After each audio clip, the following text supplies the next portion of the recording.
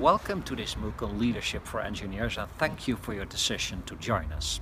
As a team of both scientists and practitioners, we've been working on this MOOC for several weeks and I would like to use this introduction to manage your expectations a bit.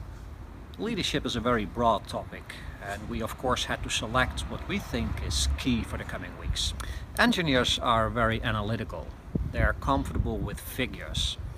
They have a can-do attitude want to solve problems, design solutions. You might call this the analytical mindset of an engineer. A leader of course needs an analytical mindset, but there's more.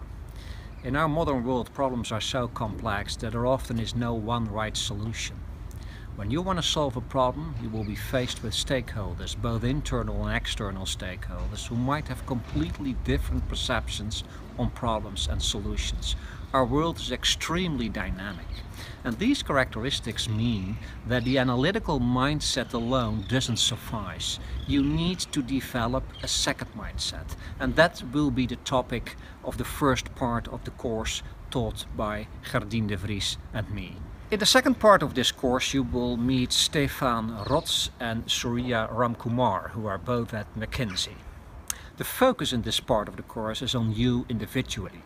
If you want to be a leader with impact, you will have to answer the question who you are, whether you're comfortable with yourself, and how to cope with often demanding and stressful situations.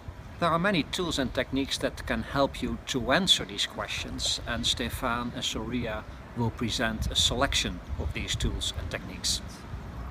Part 3 has been designed by Peter Lichthart and Dana Kruger from Russell Reynolds Associates. In part 3 they will present different leadership styles. They will introduce the concept of sustainable leadership and they will try to bring part 1 and part 2 together. Finally, Leadership is an ambiguous concept. There are many gurus, many different schools of thought, and there is no single truth about leadership. That's why we invite you to challenge our opinions, to ask questions, and we'll try our best to answer these questions and to have a vivid and lively discussion with you about leadership.